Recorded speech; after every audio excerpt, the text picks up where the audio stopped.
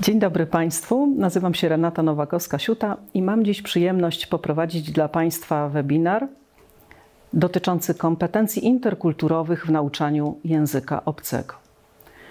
Webinar realizowany jest w ramach projektu Transatlantyk Fundacji Kościuszkowskiej. Szanowni Państwo, wielokulturowość nazywamy bardzo często wyzwaniem współczesności. Dlaczego tak jest?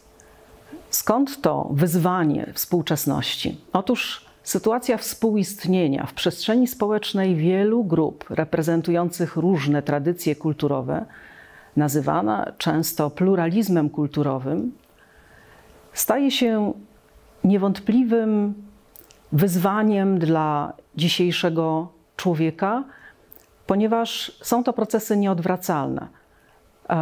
Jesteśmy różni, pochodzimy z różnych krajów, pochodzimy z różnych kultur.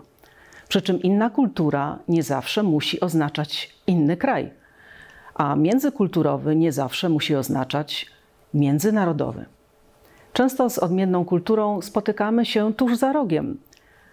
Dla wielu z nas inną kulturą mogą być dzieci, osoby starsze, osoby niepełnosprawne lub przedstawiciele subkultur. Prościej mówiąc, inną kulturą jest zawsze inny człowiek. Ma bowiem swoje przyzwyczajenia, swój język, swoją tożsamość, której często nie rozumiemy. Czym ta tożsamość kulturowa jest? Definicja naukowa mówi, że jest to aktualne, posiadane przez jednostkę poczucie tego, kim jest z kulturowego punktu widzenia. A zatem zawsze tożsamość kulturową będziemy rozpatrywali w odniesieniu do miejsca, czasu, ale także rodziny genetycznej, e, kultury lokalnej, środowiska rówieśniczego, wreszcie wszystkiego tego, co kształtuje nas jako nas samych. I kwestie te będziemy e, starali się rozstrzygać tutaj e, wspólnie. Zacznijmy od słów. Słowo jest bowiem pierwszym kulturowym aspektem, z którym spotykamy się od dzieciństwa. Słowa mają moc stwórczą. Często myślimy sobie, to tylko słowo. Nie ma znaczenia, co mówimy, a czasami sami nie przywiązujemy wagi do tego, co mówimy i w jaki sposób mówimy. Ale przecież słowa stwarzają rzeczywistość. Nie tylko ją opisują. Złożenie obietnicy w warunkach performatywnego aktu mowy oznacza czynienie. Dzieje się tak, dlatego że słowa wzywają do czynów zapowiadają działanie. Nie da się w sensie społecznym mówić wyłącznie o słowach, które nie są wcielane w życie. Słowa zawsze będą świadczyć o tym, co za chwilę zostanie zrobione i doprowadzone do końca. Stąd też, Szanowni Państwo, deficyty umiejętności dotyczących prowadzenia dialogu w połączeniu z niechęcią do tych, którzy myślą inaczej, poczuciem zagrożenia dotyczącego przyszłości grupy, do której należymy. Stanowią z reguły fundament mowy nienawiści, otwierają drogę do stygmatyzujących, obraźliwych, wykluczających sformułowań, bardzo często sformułowań ad personam. Nie znamy innych, ale bardzo łatwo potrafimy ich określić. Często sami dużo szybciej wiemy, czego ci inni chcą, co myślą i dość chętnie, a zwłaszcza we współczesnym świecie, idziemy na skróty, posługując się słowem w oderwaniu od tego, co to słowo zapowiada, inaczej mówiąc, jego desygnatu. Pojęciem, którym e, chcemy się jeszcze mm, dzisiaj zająć, to kultura.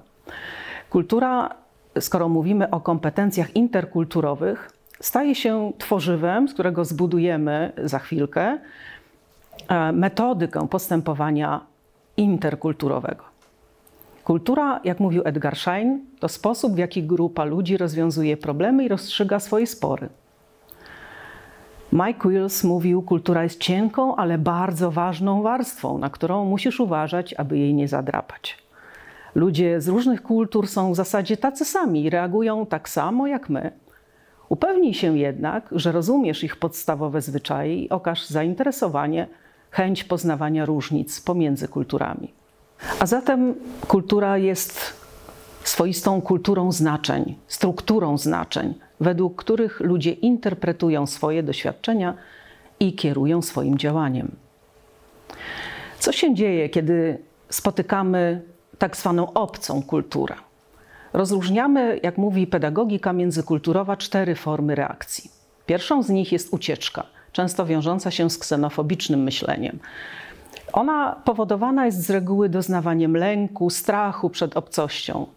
Jest często następstwem żadnej albo dość słabej znajomości języka, którym porozumiewają się inni ludzie.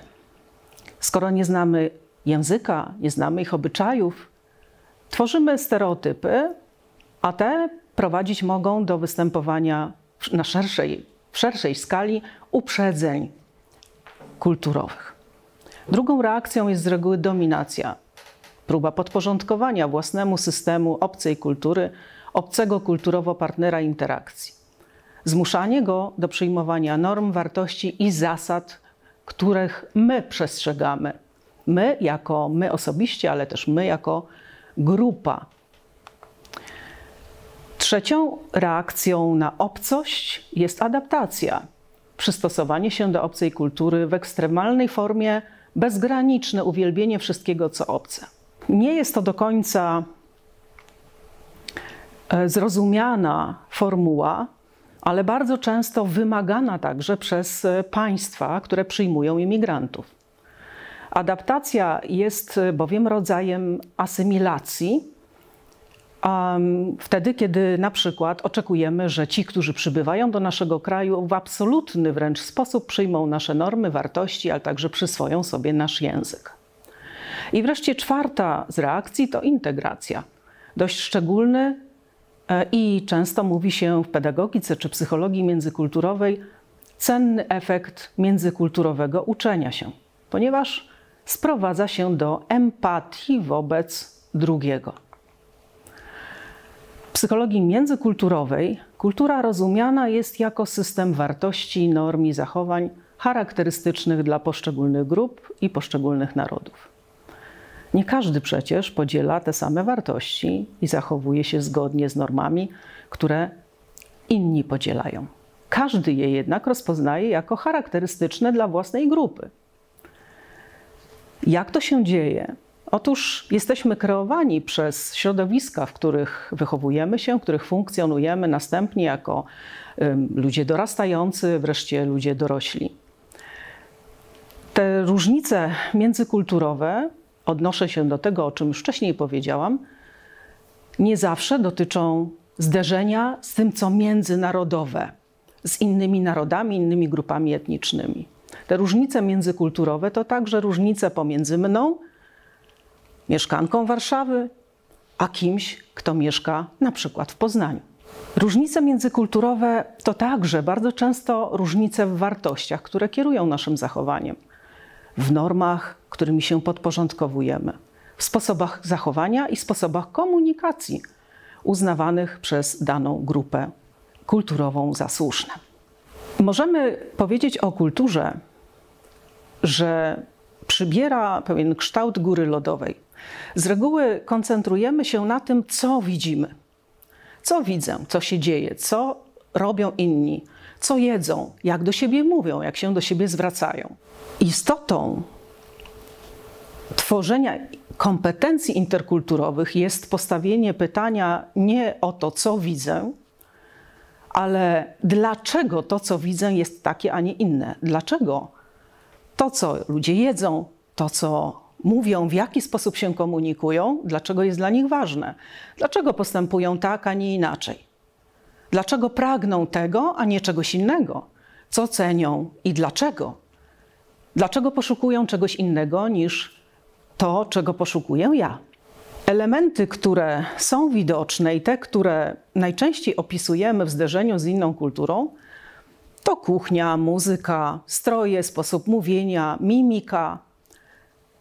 Te, które są często niewidoczne, a niezwykle ważny dla zrozumienia pomiędzy kulturami, to stosunek do odmienności, pojęcie piękna, koncepcja rozmaitych wartości, jak skromność, miłość, przyjaźń, szacunek. To, co dana grupa kulturowa przekazuje swoim dzieciom, czy przekazuje kolejnym pokoleniom. Czym jest kara, czym jest wina, czym jest grzech. Jak rozumiemy poczucie szaleństwa, spokoju, jak rozumiemy harmonię, współistnienie, jakie towarzyszą nam wzorce postępowania i postawy. To wszystko ma niezwykle istotne znaczenie dla budowania kompetencji interkulturowych. Ale popatrzcie Państwo, jak rzadko koncentrujemy się właśnie na tych elementach. Kiedy mówimy o pedagogice międzykulturowej, czy mówimy w ogóle o kompetencjach interkulturowych, najczęściej przychodzą nam do głowy takie właśnie ćwiczenia czy takie sposoby poznawania wzajemnego, które koncentrują się na tym, co zewnętrzne. A więc właśnie na nowym folklorze, strojach, języku, etc. A przecież, jeśli chcemy zrozumieć innego, musimy zainicjować dialog. Dialog pomiędzy kulturami zawsze odbywa się za pośrednictwem pewnych elementów stałych, ale też i różnych. To jest na pewno język, ale też język mediów, sztuki. To są codzienne kontakty, to są postawy wobec innego człowieka, zachowania względem innego człowieka. Znajomość języka obcego jest zawsze pierwszym krokiem w porozumiewaniu się z przedstawicielem innego kraju, innej kultury. Dlaczego tak jest? Dlatego, że pozwala na poruszanie się w tej pierwszej płaszczyźnie werbalnej. Zanim coś opiszemy, musimy wiedzieć, jakich słów do tego użyć. Ale oprócz komunikacji werbalnej jest jeszcze ta niewerbalna i kontekstowa, która może mieć dużo większe znaczenie. W zależności od uznawanych wartości i powielanych skryptów kulturowych, każdy komunikat może mieć inne znaczenie. Bariery językowe, brak spójności w sferze werbalnej i niewerbalnej komunikatu bywają bardzo częstym powodem nieporozumień, konfliktów pomiędzy ludźmi, ale także konfliktów szerzej pomiędzy grupami osób grupami przedstawicieli odmiennych kręgów kulturowych.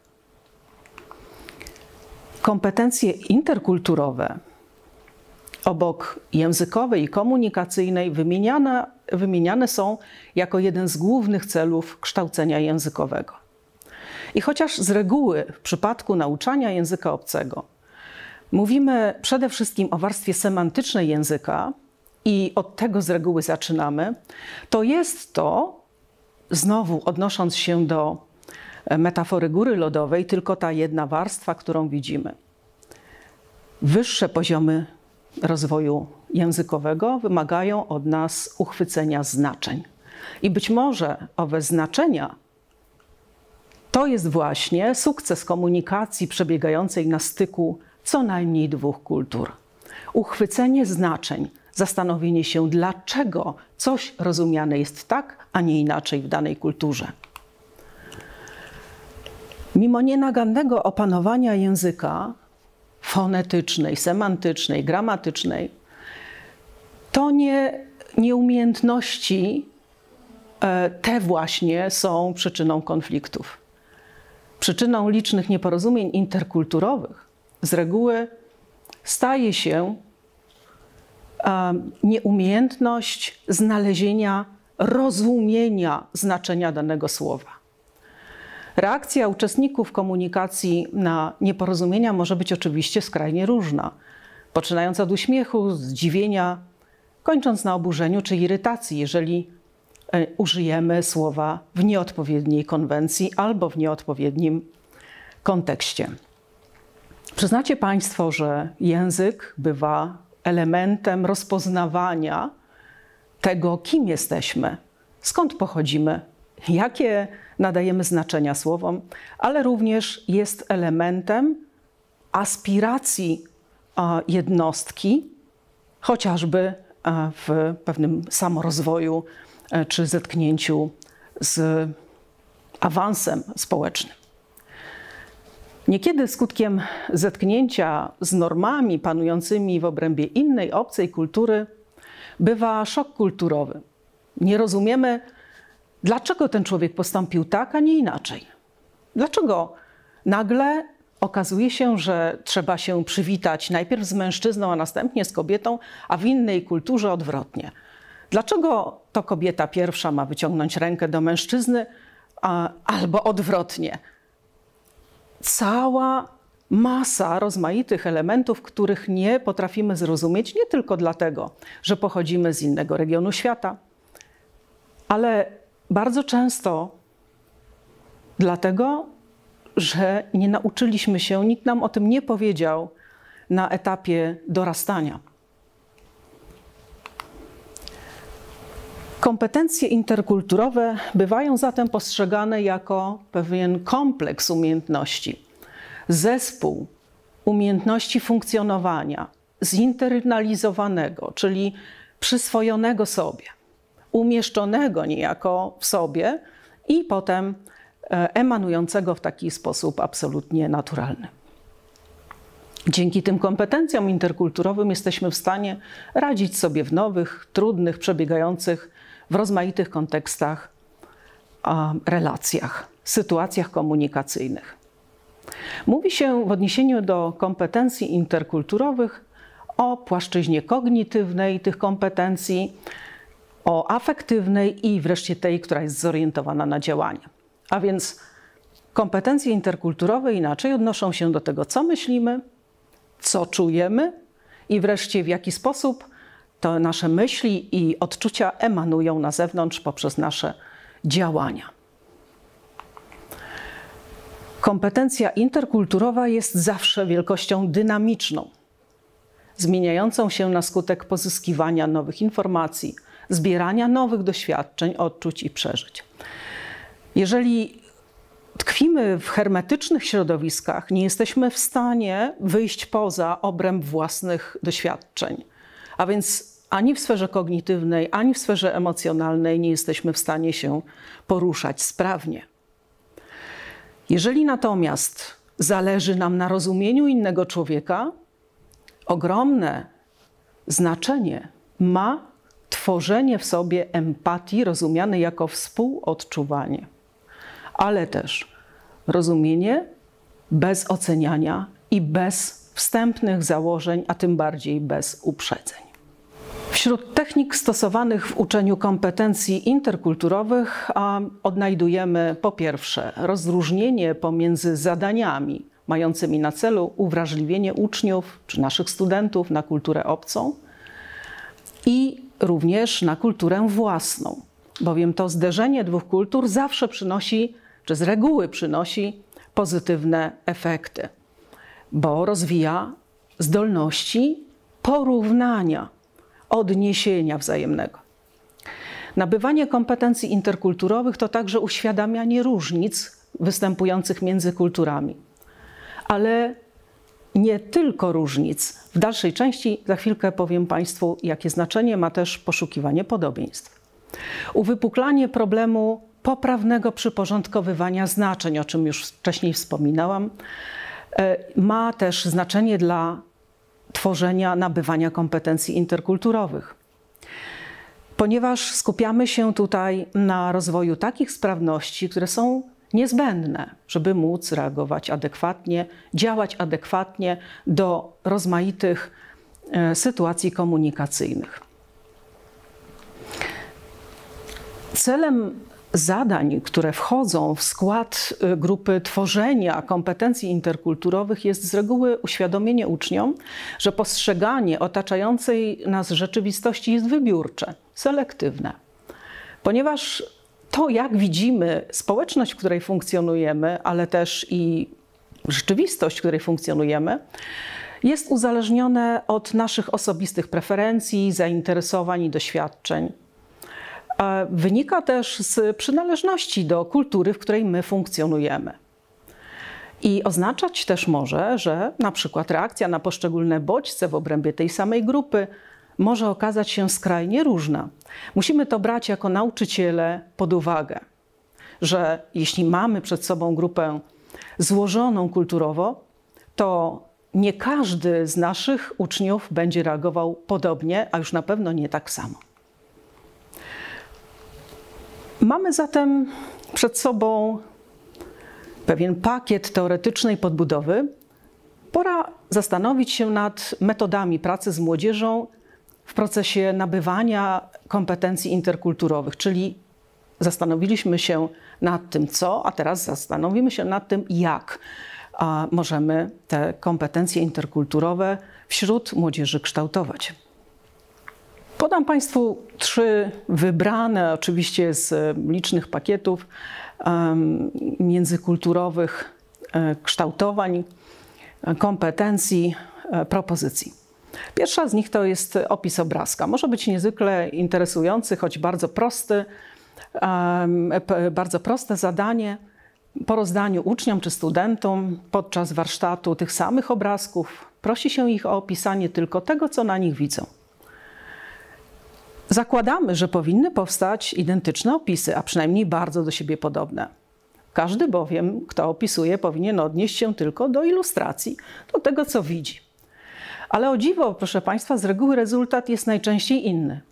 Opisy młodzieży różnią się od siebie.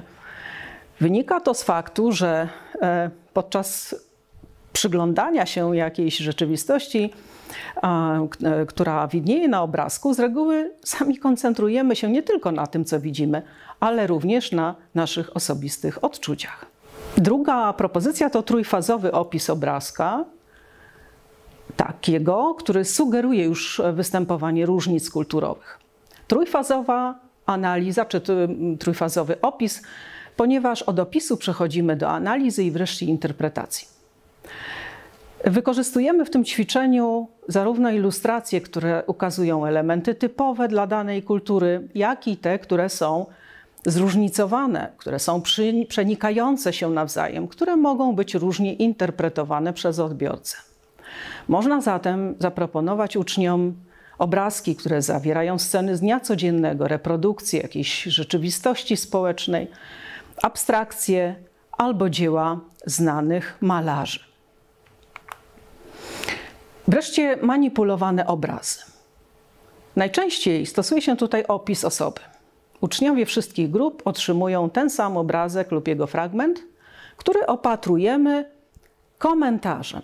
Na przykład na, tym, na tej fotografii widzimy najlepszą przyjaciółkę mamy, albo niesprawiedliwą nauczycielkę, albo wścibską sąsiadkę lub wścibskiego sąsiada. Zadanie uczniów polega na opisie obrazka, nie tylko na przedstawieniu osoby, ale także na charakterystyce cech tej osoby. Okazuje się w tym ćwiczeniu z reguły, że opisy tej samej osoby pokazanej grupie uczniów, ale podpisanej zupełnie inaczej, będą opatrywane zupełnie innym komentarzem. Dlaczego tak jest? To jest e, kolejny etap ćwiczenia, ponieważ zastanawiamy się wspólnie z młodzieżą, z czego wynikają nasze różnice i w jaki sposób nasze przedsądy, nasze uprzedzenia, czasami właśnie stereotypowe myślenie, w jaki sposób kształtują nadawanie znaczeń temu, co widzimy. Zmiana perspektywy, kolejne ćwiczenie, polega na przedstawieniu danej sytuacji albo jakiejś historii z perspektywy różnych osób lub różnych figur, które w historii odgrywają lub mogłyby odgrywać jakąś rolę. Jest to pokazanie różnej perspektywy um, kilku postaci okazuje się, że rzeczywistość widziana oczyma świadków oglądających ten sam wypadek może być zupełnie inna. Zeznania osób oglądających pewien akt kulturowy też może być zdecydowanie różna. Wykorzystuje się tu bardzo często znane teksty literackie, filmy, komiksy, to, co jesteśmy w stanie zgromadzić, to, co jesteśmy w stanie w otwartych zasobach E, znaleźć lub czym dysponujemy sami, absolutnie pożądana jest tutaj nasza własna inwencja. Na koniec spróbujmy zastanowić się, Szanowni Państwo, co nam ułatwia komunikację i co ułatwia współpracę międzykulturową. O szeregu tych elementów już wcześniej powiedzieliśmy. Spróbujmy to teraz w jakiś sposób sklasyfikować i uporządkować. Z całą pewnością ułatwia komunikację znajomość języka, ale też język ciała, pewnej otwartości. Jeżeli nasza gestykulacja jest zamknięta, tworzymy wrażenie zamkniętego komunikatu.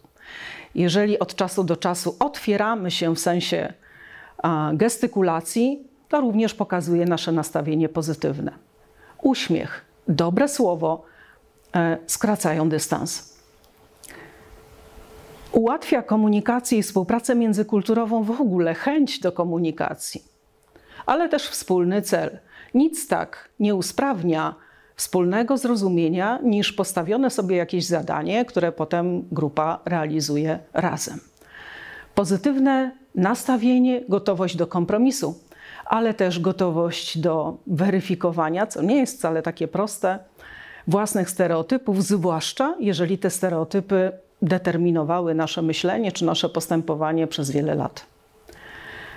Oczywiście bezcenne są tutaj rozmaite projekty, wyjazdy, doświadczenia podczas nich zdobywane, ale także wiedza, którą się podczas takich wyjazdów zdobywa.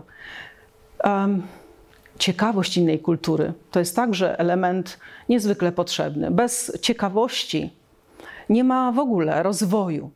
Proszę zwrócić uwagę, e, że tak naprawdę dziecko rozwija się dzięki ciekawości świata i chęci jego eksploracji. E, jeżeli zapominamy o tym, jako ludzie dorośli, że nadal jeszcze gdzieś w głębi siebie jesteśmy dziećmi i nie jesteśmy w stanie owej ciekawości znaleźć, w zasadzie nie jesteśmy też w stanie zbudować komunikacji interkulturowej. No to teraz zastanówmy się, co utrudnia komunikację i współpracę międzykulturową. Wspominane tu już w różnych wariantach stereotypy i uprzedzenia. Zamknięcie na odmienność, etnocentryzm, czyli patrzenie wyłącznie na to, że moja kultura i moja przynależność, moja tożsamościowa przynależność jest najważniejsza. Nieumiejętność słuchania. Wreszcie negatywne wcześniejsze doświadczenia. Doświadczenia wynikające ze zderzenia z pojedynczymi osobami, bardzo często w formie stereotypowego myślenia przenoszą się na całe grupy. Nieufność w stosunku do innych, czy wreszcie brak świadomości własnej tożsamości kulturowej. Dlaczego to ostatnie jest tak istotne? Otóż, drodzy Państwo, jeśli posiadamy w sobie świadomość własnej tożsamości kulturowej, nie ma takiej możliwości, aby zagrażała nam, mówiąc e, kolokwialnie, jakakolwiek inna kultura. Świadomość własnej odrębności e, jest bowiem takim tworzywem, które raczej spaja, aniżeli dzieli e, mnie i kogoś odmiennej kultury.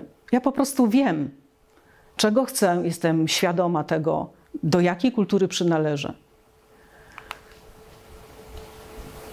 Edukacja międzykulturowa jest procesem budowania empatii, o której już tutaj mówiliśmy, który zachodzi wtedy, gdy w kontakcie z człowiekiem z innej kultury staramy się zrozumieć jego specyficzny i odmienny system orientacji. To, w jaki sposób on myśli jakie wartości podziela, jakie działania podejmuje. Pamiętajmy, że postawy są zawsze emanacją wartości, a zatem wartości są uprzednie w stosunku do tego, w jaki sposób funkcjonujemy. Nie jesteśmy w stanie rozróżnić systemu wartości innego człowieka, jeżeli wpierw sami tego systemu wartości u siebie nie rozpoznajemy. Dlatego proces nabywania kompetencji interkulturowych to nie jest tylko wyjście na zewnątrz, ale też, a może przede wszystkim, wniknięcie w siebie, w swój sposób postrzegania świata e, i swój sposób budowania systemu wartości, którymi się na co dzień posługujemy. No i wreszcie niezwykle istotna rzecz. Do procesu międzykulturowego uczenia się może dojść wtedy, kiedy istnieje w nas motywacja uczenia się i kiedy stwarzane są ku temu warunki, sytuacje, obszary zachowań. Motywacja ma niezwykłe znaczenie dla procesu każdego uczenia się jakichkolwiek nowych kwestii. Bez motywacji nie jesteśmy w stanie zbudować a, także kompetencji interkulturowych. Od czego ta siła motywacji zależy? Zawsze od dwóch kwestii: od atrakcyjności celu i poczucia, że jesteśmy w stanie ten cel osiągnąć. A więc zadaniem nauczyciela zawsze jest też budowanie przekonania, że cel, który proponujemy do osiągnięcia naszym uczniom, jest dla nich możliwy do osiągnięcia.